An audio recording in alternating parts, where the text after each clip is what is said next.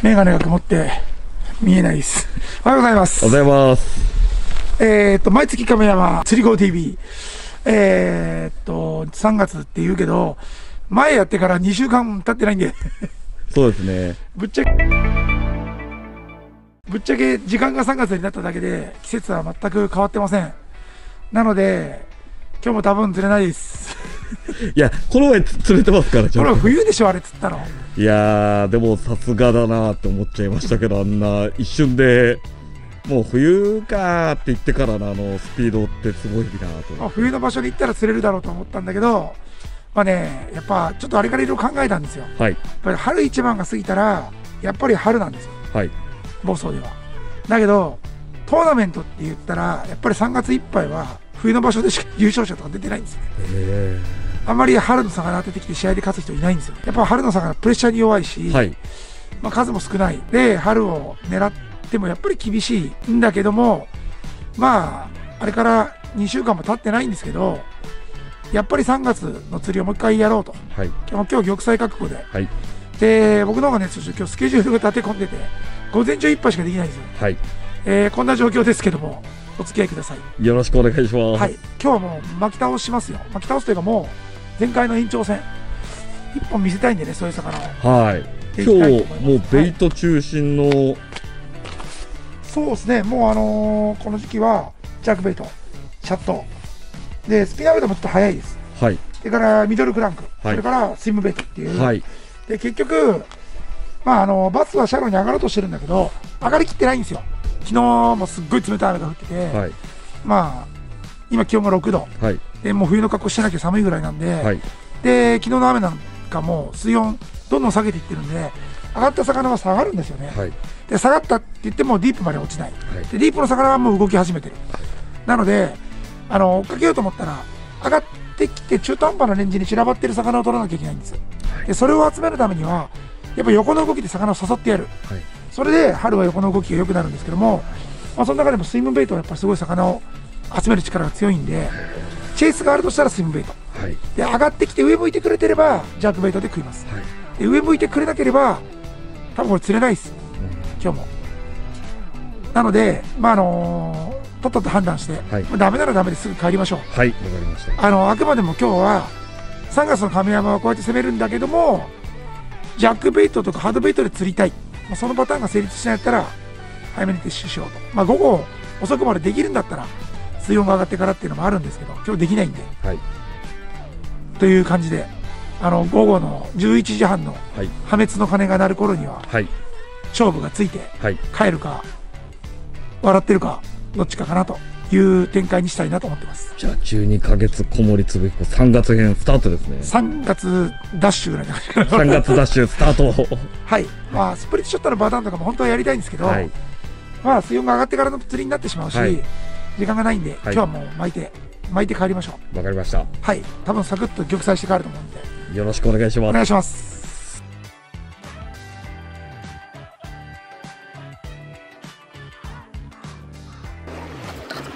怒涛の。やっても一緒なんで、はい。まあ、前から再三言ってると思うんですけど、はい。釣りバス釣りにおいて我先って大っ嫌いなんですよ。はい。先に入ればいいっていう感覚は持ってるならバッスリなんてやめた方がいいと思ってます。それぐらい先に行きたい気持ちは抑えてやりたいです。はい。もちろん先に行った方がアドバンテージはあるんだけど、は先に行かなきゃ出せないようなチョークだったらいいやと。いでも亀山攻略紐解く上でやっぱり先とかそういうも本当やっぱ釣り人が多いところですからね、はい。そういう要素にとらわれないような何か釣れる。そうそれが釣りです。それを考えるのが僕らの持ってるプロの持ってる能力だとはい。思うんですよ、だけどこの亀山ダムに関してはやるところがなくなっちゃうって。いうあのこの時期釣れるいいポイントに全部人が向いてるってことすらありえるので、はい。若干気持ちは焦るんですよ。はい。そういう時ってどうやってメンタルコントロールっていうかあのこれ全員強いトーナメントだったら諦めるしかないんですけど、はい。どっか飽きますよ。うろうろしてれば。はい。で人の流れと合致してる時はどこもやるとこないんだけど、はい。すっごい人が来てる時でもふとこのエリア自分しかいないっていうことがあるんですよ。はい。そういうのにどっかで当てはまった時に釣れればいいんじゃないのかなっあていうぐらいの気持ちでやらないとあはい。どうせ焦ってダメになるから。でも本当あの自分なんかはい。外側から見てて、はい。亀山でも船団になっていて、はい。小森さんがその空いてる隙にスッて入って、はいお客さんとボコボコに釣ってるの何回か見かけたことがあって。開くでしょ？ふっとこはい。うやってくださいって言わんばかり。にはい。ああやってふっと開くもんなんですよポイントって。あそれが意固地になってここだと思って行くと人がいっぱいいてうわできねえってなっちゃうんですよ。ーそうすると心から崩れて心から崩れるう余裕を持ってるとふっとポイントって開くんですよ、んはい。まあ、全員が止まるエレキでロックしてたらもうダメかもしれないですよ。でもそんなことしたらそういうとこ連れてないですからねと開くもんだと思ってーはい。やるしかない。小森さん今日短期集中決戦なんで、はい。短期は損期っていうから多分損ですよ今日は釣り子をどれか借りて投げていいですか後ろ手釣り子さん。はい。で釣り子さん一番可能性のあるはい。ワンテンジュニアを。あはい。え、はい。いいですか？いいですいいです。僕ね X80 ジュニアゆっくり待ってなかったからただ亀山でははい。X80 ジュニアより今のところワンテンジュニアの方が僕は実績があるんではい。と思ったんだけどちょっとやっぱ今日冷えてるでしょはい。もはやチャットとかちょっと避けた方がい。い。のかなと思うぐらい。はい。な感じなのでこれはシャロークランキングではなくてあロットシャロークランキングですこれシャロークランキングですよね、シャロークランキングって書い。てるジャークベイトにもい。い。短めにでこれあワンテンはこれ小森さんのそしてコンクルージョンカラーの、はい。えっと暴走シークレッついに暴走シークレットのシークレットが解き明かされる日が来ちゃった。んですト、えー僕はこのラクラシックで活躍したはい。X80 ジュニアの、えー、何とかわかんないえー、っとバス暴走若さいや違うこれコンクルージョンじゃないああはいはいはいなんとか90色です。ねはいはいはい。ああのピンクバックの。そうですローライト気味なのではい。ちょっ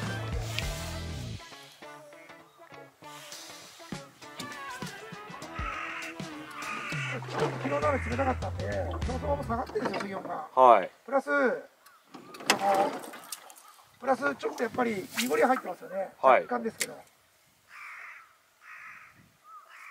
冷たい水が上から来たから下と水入れ替わってると思うんですよね、はい。そんで濁りも出ちゃってるのかなと思うんですけど、はいやっぱこうなるとバスってシャローに上がるって前に止まっちゃいますよね。あで上がってきたやつが冷えてブレークサイドまで下がった時は、はい。サスペンドミノってものすごく有効になってくるんですけど、はい。上がりきる前のやつがはい。流れが止まっちゃうような今の状況だと、はい。ぶっちゃけバスはいろんなレンジで切っちゃって広範囲に行っちゃうからまあ一定層のレンジを決めてしまうともう難しくなってしまいます。はい。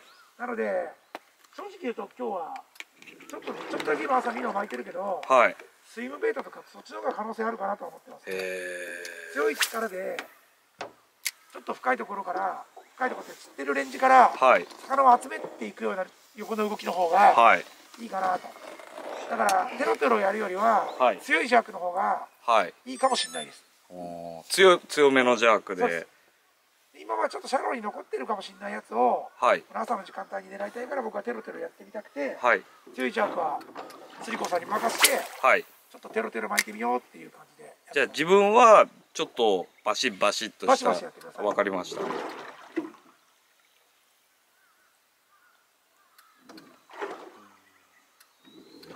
シャッティング X でもいいんですけど、はい。まああのーちょっと増水してるでしょ、はい。冬場から増水してるんで枝とかがちょっと落ちてて、はい。あんまりボトム近いところまで下げちゃうとかかりそうだから、はい。なので今はこの80ジュニアにしたんですけど、はい。これ80ジュニアのショッピング X とたまきで使うとき使い分けっていうのはそんな感じです。ボトムにタッチさせたいときははい。シャッピング X、はい。タッチさせたら引っかかっちゃうときは80ジュニアあー。おとっといのボスかどうかわかんないけどゴーン何から当たりましいやでも春先お。たこれは違うボトムですはい。いいっすね。ここもうほんとなんか小森さんの春先の。ここね鳥居のこのいや東屋の真正面はちょっとね浅瀬がハードボトムはいが浅いんですよ、はい。なのでまだこの時期入ってこないんです。はい。でこのあ向こうの人工島ってあのちょっと四角い島あるじゃないですか、はいあの島に向けてのところに一回下がるところがあって、はい。その下がるところは結構ボトムを使って魚入ってくる岩がゴロゴロしたりするので、はい。まあスプリットショットとかでやるならああいう場所かなと。こっち側はもう上がってきた魚が泳ぐところだからはい。もうスプリットショットじゃなしに2のでチェックした方がいい場所ですね。要は魚が要は通るところはワーム。はい。で、えっと、上がっちゃってるところはプラグ。はい。で下がったところもハードベイトっていうような。ただ今日日中にかけて魚がガンガンシャロに上がるよっていうことはまずないと思います。あ今日気温上昇っては言われてるけどそちょっとワカサギとかも少ない湖ですし、亀がって、あの上流インスタとか、はい。堀北上流とか行けば、まあ、そういった上がってくる魚もいるかもしれないですけど、はい。基本的にこう本湖沿いで魚が上がってくるのはもうちょっとですね、あまあ、今、これ水温計ついてないけど、おそらく水温11度ぐらい。あはい。で、昨日の、あの雨、はい。あれで、多分9.5度とかまで下あがってあはい。るでこれが10度に戻ったから魚が刺してくるかっていうと、はい。まあ、急には刺してこないですよね。あ風とかあはい。雨とか、まあ、そういう何か魚がシャローに上がってくる要素が加わらないと絶対には上がってこないです。はい何を利用して上がるかというとあったかいのぽっとした空気を利用して上がるってことはないと思うんです。絶対に風。はい。こそれから濁り。これさはい。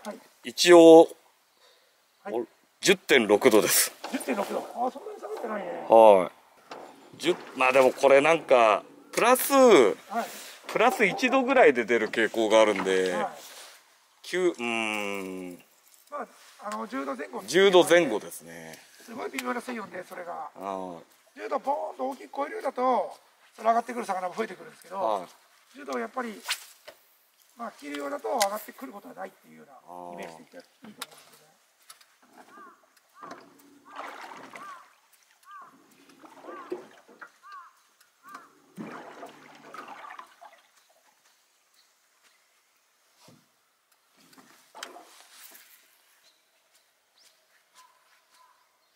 ヘラが乗っ込み出してるってことは、まあ、バスも乗っ込むとは言わないけど、まあ、乗っ込み出してんじゃないかと。なんかでもその、はいまずステージングエリア行ってね上行こうかなどうしようかなって迷ってそうですね。で安定しだすといよいよ産卵に入るっていう流れ。はい亀山だとはい。スポーニング意識するっていうのは小森さんだとまあ年によって違うと思いますけど4月第1週。ああ1か月後ぐらいですね、ちょうどただやっぱりスポーニングはね、僕どうせスポーニングベッドなんか狙わないから、はいスポーニングあんまり考えてない。あれプリスポーンっていうのはどう考えるもの？もうプリスポーンですよ。プリスポーンは秋からもプリスポーン。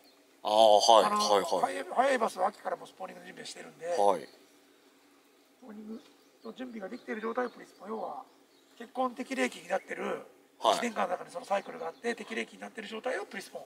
小森さんみたいな状態です。僕は全然もう適齢期を過ぎてしまってるええアフタースポーンアフタースポーン。あ小森さんアフタースポーン説。はいもう目が悪くなってきてるぐらいなので、目が悪もう人生のアフターアフターに入ってるやめてください。これからこれからトーナメントスタートするんですから。急に。やっぱ強気な小森さんが見たいんでファンは。強気になりますよ。なかなかね、やっぱりね、肉体が衰えてくると強気にはなれないものだって。で去年あんだけ強かったじゃないですか 2回しか戦ってないのにどんだけどんだけ強いんだ集中力が保ててる。はい。すごいなあの俺魚探見てたんですけど、はい。本当？綺麗にブレーキを流してる。すごいピタッとさっき言ってたあっちからそのブレイクエッジの上魚探なんて入れないんですよ。すげえ僕ぶっちゃけ言って。言ったじゃないですか、冬のガイドで魚探が壊れちゃったり故障したことって過去に何回もあります2対1ずれないんですよ。今まで一番冬、真冬に釣れたはい。時は魚探がなかったんで、はい。その時ははい。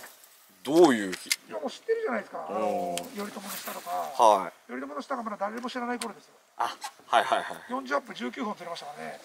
1月の19日でそれそれそれ YouTube にしたいっすねそんいやもうしたら一瞬で終わっちゃうでしょな、今、うん、まあまあそうですね。今でそれ頼朝の発想したのが誰か必ず浮いてるじゃないですか。あれだってだあのー今日の小森嗣彦が原因ですよ。まあいいんですけどあのブログで「あ小森さんここでやってんだ」っつってボコボコに釣ってた時ありましたもんね本言ってましたね。基本でも僕自身はもともと行ってないけどアメリカ志向なんで当はい。アメリカで通用しないバス釣りなんて覚えてもしょうがないっていう考え方はあるんですよ。はいはいはいはい。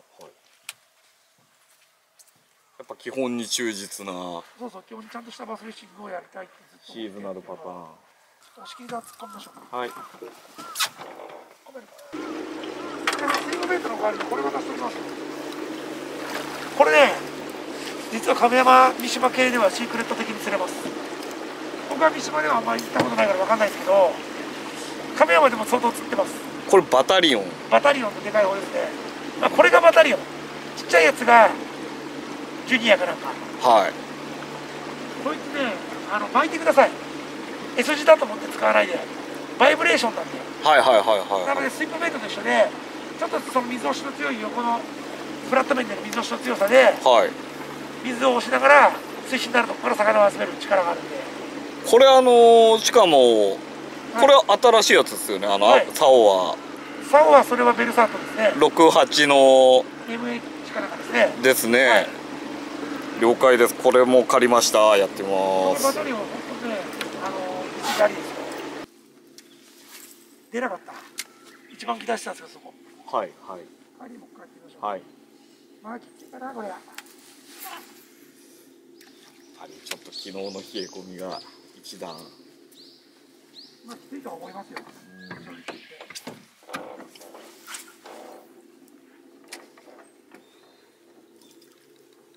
本当小森さんチェック早いですよね。もうさらっと見て本当にパンパンパンって。えーだって5回3 6回流して出る時もあるけどそういう時って出るって分かりません、うーん。最大で同じところにスピナーメで15回投げて15回目で釣ったことがあるんだけど、はい。それ中学生の時ですよ。まあおかっぱりとかだと移動できるのにも限りあったりしますからね。ああ。でもなんかね魚の動きがある時はやるけどはい。今のここにいるやつってなんか目的があっているわけでしょ。はい。浅いところにわざわざ上がってきて餌がいいのに食わないなんてことします？そんなやつ何やったって食わないですよ。はい小森さんこれただ巻きなんですか？ただ巻きなんでバタリオン。ジャークしジャックもたまにある。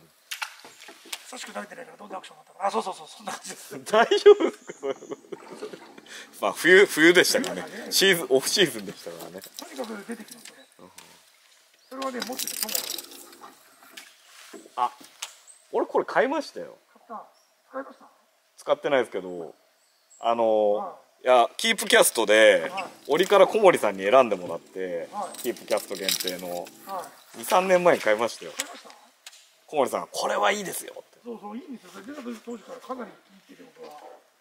で買ったっきり出しどころがあんまりよく分かってなくて。巻くんですよ巻けばいいんですよ。巻き系ギル巻き系ギルははい。いやギル。結構ギルボイルとかしてる時とかはい。竹山の沖とかでブワーって巻いたらすっげえ勢い出てきて食ったりとかしてますよえ今ね針がでかくて腹筋が悪いんですよね。ー、あはい。4035とかも出てくるんではい。そういうのは全部できてないんですよ。ああ50近いと全部取れてますね。はい。それそれ最高ですね。うわ台風の後俺この筋は一回も登ったことないな。なんか上に上がっちゃったけど天気晴れ上がっちゃってもへーっと何も食わないみたいなバス見つけた場合っては何投げるといいんですか？森？え？森で作る森でついちゃっていいんですか？そうですよ。それはもうバスフィッシングじゃないじゃないですか。あのまあ虫とかカバーにはい。競争とかでしょうね。吊るしでしょうね。競争でもうじとーってやれば食う僕かも。は嫌いなんですけどね。その吊るしで釣らなきゃいけない魚を釣るんですけどはいはいはいはい。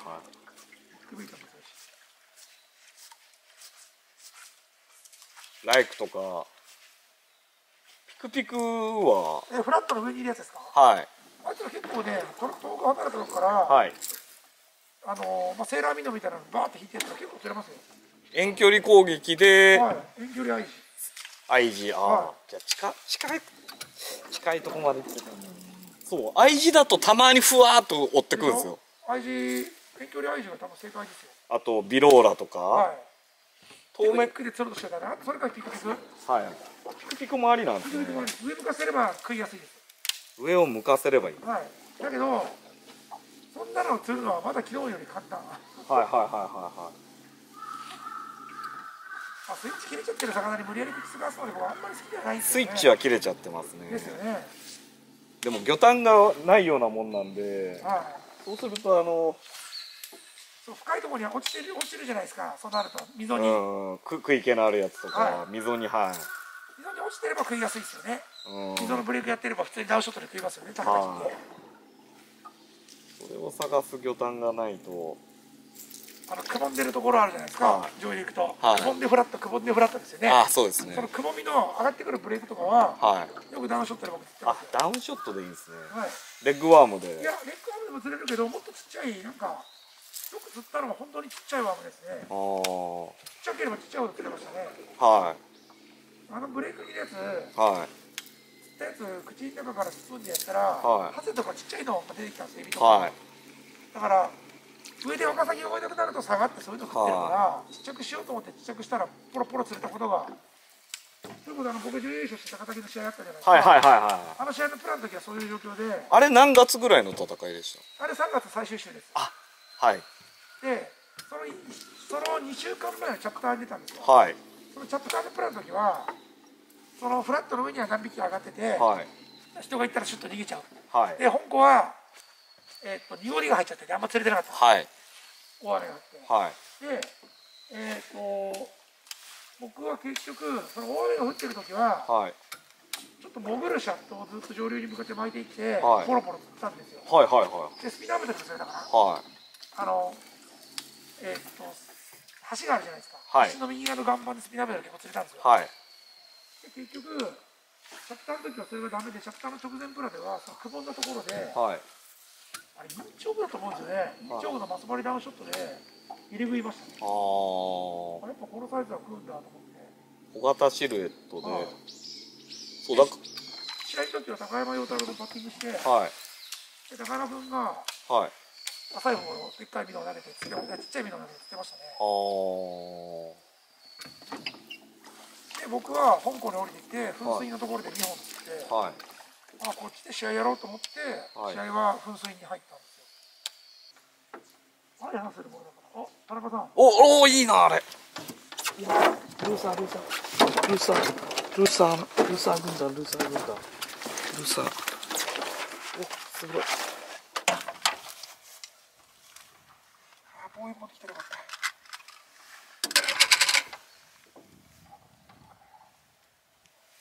亀山のルーサー軍団ですね。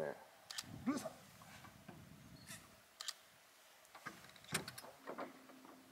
大移動っすよ。なんかあるじゃないですか。亀山のルーサー軍団ですね。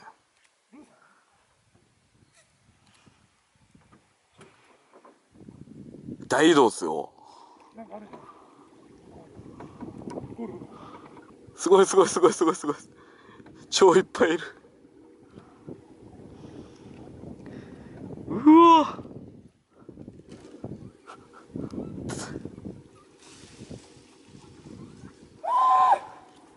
うふううわすごいすごいベイトボールになったベイトボールになった。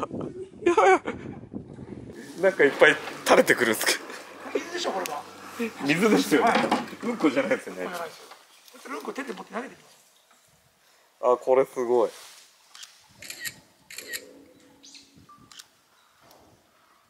すげえ見ざる言わざる聞かざるだうわどんどん来るどんどん来る。大変だ。すごい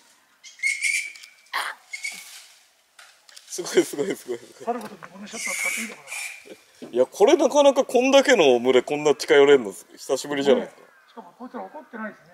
落ち着いてるな元気ですねみんな。なんかあったのか猿。コネさんこれはどういう状況ですか？これは猿ですね。これ猿パターン。ン猿が向こうに去って。いく猿が猿パターンですね。猿が猿がこっちの斜めで多分向こうに移動してたと思うんですよはい。こっちの山の方が餌が多いんじゃないかあー。まあ小猿はいるし春春って繁殖期ってないんだろうねこれね。見てると冬でも夏でもいつも小猿いますようね、ん。単体の繁殖期しかないんでしょうね。あこれ小猿たち中猿だ水が今日白っぽいですよね。はい。これ明らかに昨日の雨の水なので、うん。まあ水温上昇これからしてくるんですけど、はい。して魚が動くのはやっぱ午後ですなので午前中はこれをちょっともう身の系はきついなってもう一個下だろうなと。うん。ダウンショットとか持ってきて冬の魚釣るんだったら食いやすいかもしれないですけどね。なのでちょっとビッグベイトで出てこなかったら早めに帰りましょうもそうですね。うはい。今日はもうそのつもりで来たんでとにかく3月の前回まあ10日も10日前後ぐらいしか前じゃないけど、はちょっと前のあの2月のバージョンからやっぱり見せれなかった部分を見せたくて来たんだけどはやっぱりまだ早いっていうかタイミングが悪かったなっていう感じですね、まあ、天気的にはこの薄曇りは悪くないんだけど、い。はい。水温が昨日でやっぱ1度ぐらい下がっちゃってるっていうのが、うん。まあよくはないですよねうん。これが12度から11度だったらはい。逆にシャローカバーサイドからもう一回ミノのパターンってあるんですけど、はい。もう完全にこの上がりきる前の魚の足を止めちゃってるんで、はい。ダメかな。あ、すべてにおいてダメですね。このね、ビッグベイト系なんですけど、はい。意外とね、イメージないかもしれないけど、このセムベイトとか、よく亀山ではやります。はい。これね、あの、針がでかいんで、こういう木とかにバーンってかかっちゃっても、取り、すぐ取れるんですよ。はいルアーの重みとかで。だから大体のカバー周りを攻めていくっていうのが、このビッグベイト系の亀山での使い方。特にこの3月。3はや早いテンポで結構、そうですね、あんまりスキップ失敗するとこうなっちゃいますけど、とにかく、あの、物の中に投げていくっていうのが大事です。はい。ビビって、高いルアーだからビビって、うん。カバーの周り怖えやって言うんじゃなしに、はい。こんなの表層直下なんで、下がっても取れるだろうと思って、バンバン中にぶち込んでいくのがう、ん。このビッグベイト系の持ち味。なので、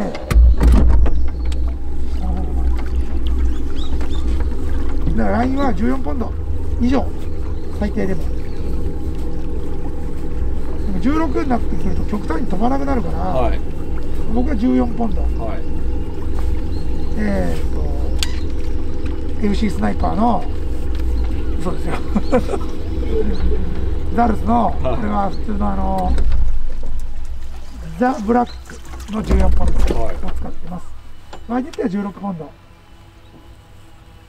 でまああの竿はこれ X グレーブのえっ、と 73MH っていうまあ琵琶湖で巻きラバとかをやるロットですね MH って言っても、んなんていうか結構ハイパワーな竿ですよね。そうですねあの長さもあるんで、はい。ものすごくトルクールな曲がる MH っていう竿なんですよはい。これすごく僕はビッグベイトもやりやすいしまあとにかくフランクベイトもやりやすいしあのまあ抵抗のある釣りはこれでやります、まあ、どの辺まで投げれるかって言ったらこのマグドラフトそれからアイスライドはい。その辺はこれで全然できちゃうんで、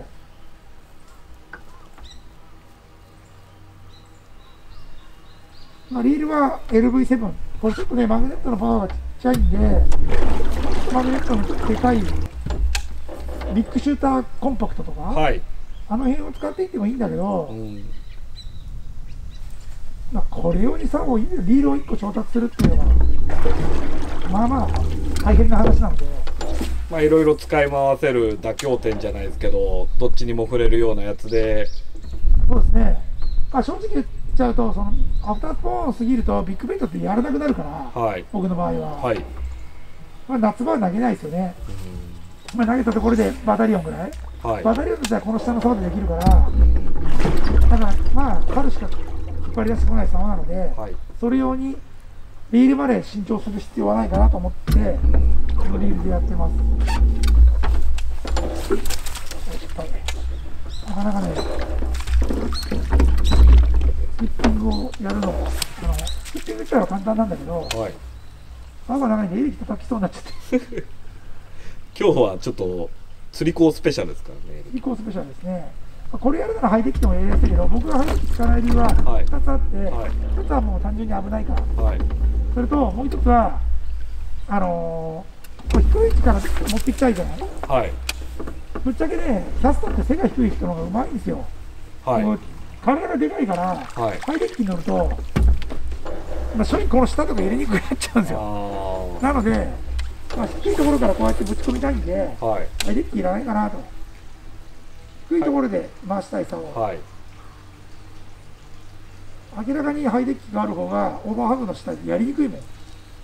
小森さん結構高身長ですね。そうなんですよ昔は三三高と呼ばれたうちの一つは持って呼ばれてきたんですけど、はい。何ですか？えー高収入、はい。高学歴、高身長。一つは持って呼ばれてきたんだけど、高身長って。あと二つが足りなかったかな。いや何も言えねえです何も言えね 今参考って言わないんですね。え今何なんですか？なんかね、えっとね、えー、三低って言ったかな、今。はい手うんなんだろう手ってえっとね、一つは低姿勢。あはいはい、あとね、なんつったかな。モテる男の三低って言われてるじゃない低干渉。低干渉はいあまり干渉してこない。はいはいはい低干渉、低姿勢、なんだかな。もう一個あったんですけど、よくわかんない。低い方はあんまり見ないんだけど。今この釣り子 TV をご覧の皆さん、はいえっと僕はね、千葉に越してきたのは二十歳の時なんですが、18分なんですけど、はい今からもう二十何年か前なんですけど、最近知らないところに言っておきますけど、はい船橋にはスキー場があったんですよ。ああれですか？知ってますよ。知ってます？ザウスですか？そうです。僕が千葉に越した時は、なんか三角形のものがあって、は何やるって言ったらスキー場って言われて、すげえな、関東はと思ったんですよ。いあザウスありましたね。はい。でも最近、JB の若い子とかに、はい。その話をしても、そんなん騙されないですよ、嘘に決まってるじゃないですか。ええあでもそうかそうなっちゃうんですねそうなんですよ。だって、ザウスなくなったから20年経ちますよね。そんぐらい経ちますかねあれトリコワースのなんか覚えてますもんはい。20年経ってんじゃないですか。だってバブルの崩壊とともに、ああいうものが流行らなくなったんだから、だとしたら95年にはもう、公開の音が聞こえてたわけですよ。俺何回か行きましたもんあ、行ったんですか？ザウス行ってましたよ信じてもらえないんですよ。船橋にスキー場があったっていう。しかも津田沼にもあったんですよね、ちっちゃいやつが。あれすごい建物でしたよね今思うとザウスの方ですよね。はまあ、写真映え、インスタ映えしますよね。い今思えばそうですねむっちゃ映えますよね、あれねは。夕日に照らされてね、は富士山バックに見えましたよね。いはい巨大迷路とかもそのちょっと前ありましたよありましたね。ああの母親が東京なんで、はよく東京のばあちゃんに行くと、いはい東京湾をトンネルか橋かで真ん中通れるようにするっていう計画をはい。新聞に載ってきたら絶対こんなの夢物語ったああそういうそうっすよね。アクアラインね。まだなかったですもんないですないです。ねアクアラインって。アクアラインだって開通して30年経ってないですよね。そうだと思いますよ。最初は結構高くて。かな30年経ってない20年経ってないですよ。うん。もう大学の時なかったですよ。はなかったよなザウスが壊れた後じゃないですか。いいやザウスより全然後ですよ。ですよね。もちろんもちろん。アクアラインがなかった。当然ですよ。圏央道なんかなかったし。うん。変わりになったな俺も。そんなおじいちゃんみたいな。いや20年も経っちゃ変わるんだよいろんなものが。変わりましたね。立山道山じゃなかったですから。立山道はあれどこま君津まででした？君津までできたのが15年か20年ぐらい前。僕大学の時はそこまでしかなかった。だから立山行くのってめっちゃ旅だったんですよね。旅ですよ。あれ。て。今はもうぴょぴょ東ですけど。京行くと2時間以上かかってました。3時間とかかかってましたよ。かかってましたよね、はい。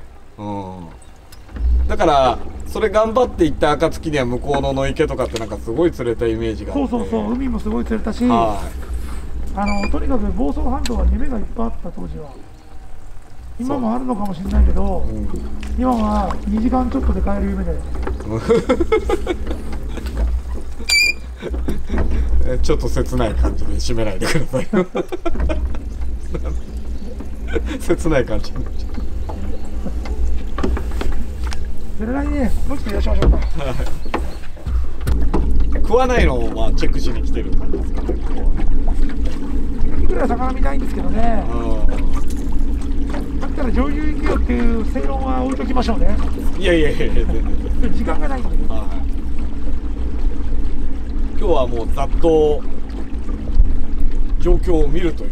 今日はあの12ヶ月亀山じゃなくてざっと亀山。ざっとざっ亀山と亀山。3月編。3月午前中編。はい3月午前中編。まあでも来月からはもういよいよハイシーズン突入しちゃってますからねこういうで4釣りも。月編ではい。魚釣れなかったらはい。もう亀山ダムに来ることはないと思いますよ僕は。はい。宣言しておきます。はい。4月だって次4月の頭は僕来れないんで、はい。12、3だと思うんですよ、はいはいはい。その時に来て、一匹も釣れなかったら、もういいでしょう。もうやめましょう、12月は、12ヶ月は。いや、4月に入って魚が釣れないってことはないですよ。はでも、それを不安になるぐらい釣れないですよね。いまあなんかうんなんか冬って感じ冬ですよね。本当に4月になったらこれ上がってくんのかっていうぐらい、シうんャロー側の魚の反応がないですよね。でも突如として始まるんですよねこれでゆっくり始まりますよ。ゆっくりじっくりはい。小森さんのイメージだと本当ここの隙間のステージングエリアにこうのこう通り道はい。をあのライトリグで攻めるっていう印象が強かったんで。で、僕ここよりもや、あれですよ、白鳥の方が釣ってますよ。は白鳥の、いいや映像で残っているあれですね。白鳥は数日釣ってますよね。はちょうど入り口は一箇所で本当に船止めっぱなしで10本20本ってやったことありますからね、い。はだけどあそこも今必ず誰か動いてますいうん。いやーいないないると思いますよ。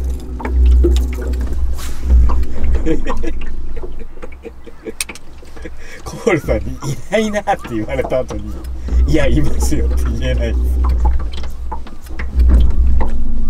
です言えるわけないじゃないですか。いや小森さんいますよ。ここ絶対春うん俺春一発目ここ多いですね。このバンドの中ですか？じゃないですか？いや俺ここら辺でですか？巻きで結構お始まったな春って言ってもここはもう完全に押し切りの押し切りの入り口のブロックですね。あそこの風をブロックするからはい。割と魚溜まりやすいんですよ。はい。でもあそこがダメだったらダメだろうと思ってたんで、うん。去年だってあそこではなんとか来ましたもんあの寒い冬のような日に。はい。シャッティング X か。俺、シャッティング X 買ったんだよなまあでもこれで来ないってことないですよね絶対良さそうですよ。ですよねでも、シャッティング、時期的にはシャッティング X ですよね。いやーどうでしょうこの X80 ジュニアとかはい。この辺の強さを知らないんですよ多分あのこいつらすごいっすようん。ないねこれね本当にうん。上がってきてないとしか思えないですよねそうっすね。今日別に悪い手はないですよ天候的にははい。こんぐらいローライトだったら食いやすい前回はね B カンで無理って言ったじゃないですかはそのそういう逆にその不満は供養はないい。はい。それ社会に対する不満ぐらいですよあれねちょちょ、またそれ、使えるコメントだね。今の部分だけは使えると思いますよ 今使え、使っていいですか？今の部分だけはね 何か不満があるんですか？みたいあ社会に対する不満いやいや、いやそ、そこ本来でいいです。掘っていいですよ。それはじゃあ使えるように掘ってもらっていいですよ。いやいや、難しいんだよ。簡単に掘りましょいつうも釣りに、釣りに関社会に対する不満そうですね。バッスリがもっともっと世の中に認められたいですよね。う。ん。そういう社会に対する不満はありますよ。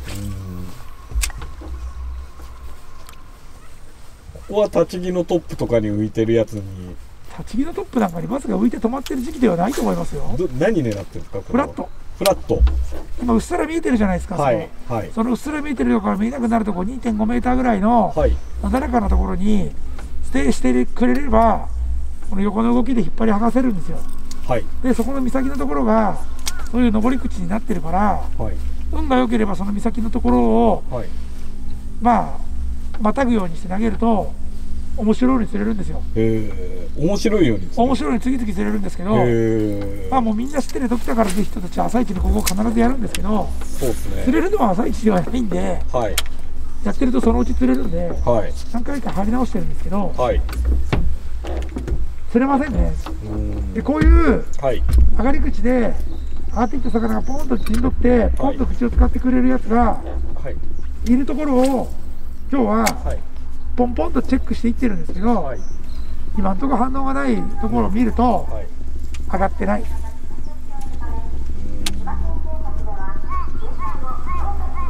結構水深があるところとかを表層レンジで手早くチェックしていくんだなって印象はありますけど。そうですね。表層そんなこともないですね。追伸がないですよ。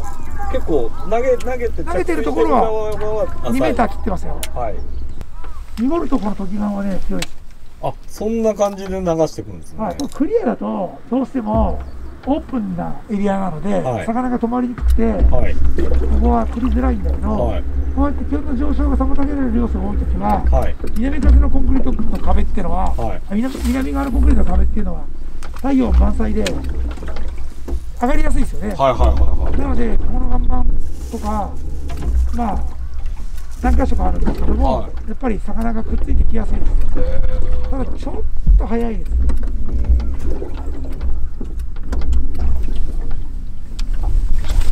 でだからちょっとそっちから振りたいんで気をつけてください。ねはいはい。でねこれねフォアハンドだとキャストがうまくいかないんですよ。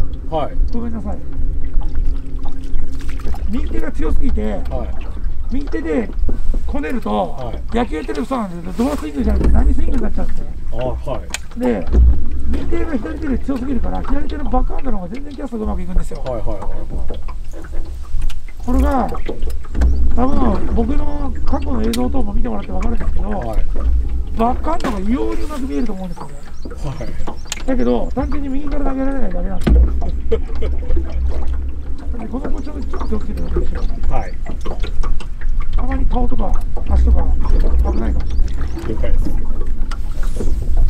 やりませんでした今やりませんこれ痛いんですよはいちょっともっと振りたいんです本当は、はい。はっきり言って邪魔なんでなんで座ってるんですあのー、あのそれ元も子もなくなっちゃうんでごめんなさいはい。取ってなんぼなんでこっちは。ああなるほど。いやできればちょっと降りても動いてもいやいやいや。いやいやいやいや、ちょっと投げられないんでね、もうね。うまくバックハンドで。で投げられて釣ったったーってなってもそれ取ってなかったら意味ないじゃん。ああ、上からという、今日あ上から。上から、ドローンで。上からログインしてほしいですうね。んドローンで行きますか僕の嫌いな。嫌いなんですか？僕ドローン嫌いなんですよ。なんで？あのね、なんで嫌い？どの撮影に行ってもドローンを設置するから待ってくださいって入るじゃないですか。はいチェックで、チェックを早くしていくのには、ドローンを待ってる時期ではない。はいいっぱい釣ってる時はいいけど、はい釣れてないのになぜドローンっていう。釣れてなかったら今日の映像自体がもうボスじゃないのかよっていう。確かにだから一回ドローンを上げたら、その隙を見て遠く離れていこうかと思ってるんですけど。追っかけますよ。はい？追っかけますドローンがですか？バスバスボートだったらちょっとバスボードならきついですね。振り切られますけど。いないなこの辺こういうちょっとオーバーハンドっぽくなってるはい。レイダウン的なものはこれレイダウンじゃないですけどはい。なんで魚が止まりやすいからはいところは絶対下をねこうやってちょっと舐めるように通してやるとよ横から出てくるどんどん出てきます。へこれとかは多分メガスマガにこれここで釣ってますよこれで。えへ結構出てきます。あの入れはね波動が強いから見てくるんですよ、えはい。これがミノだとこミノだとここまでは来ないですあビッグベイトとかスイムベイトとかだと波動が強いから見るドローンも飛ばしてもらえないし。ドローン飛ばしてもいいですよ僕車で片付けしてるんでドローン飛ばしてきてくださいよ。あの俺が降りてていっぱい連れてる状況で小堀さんが一人でここバーッと。田中さんはい。いくらでもこの先チャンスがあるから。だから。だからあえてせ前回飛ばす必要はないでしょっていう話よ。でも前回あれで結構いい絵撮れたじゃないですか。じ見ました小堀さん見たけど前回はちょっとでも釣りする時間が欲しかったん分です。よかってます分かってます分かってますよこれ分かってます。でもあれで釣った後にお時間いただいたんでいい絵撮れたじゃないですか。俺は前回は月を月を狙って小堀さんがかっこよく映るようにいつも考え川て辺さんはあのドローンいいねって言ってましたけどね。小堀さん11時半を前にして今日は終了ということで もういいでしょ。ありがとうございました。あのー、僕やりたかったことはやっぱり春なのではい。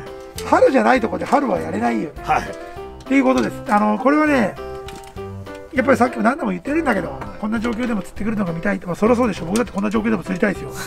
だけど、まあ、その、それはやったじゃん、2月に。はで、今日は2月にやり損ねたことをやりたくて来ただけなので、はい。できないんだったら帰るしかない。いやもうちょっといろいろいよいよ準備開始っていうことで。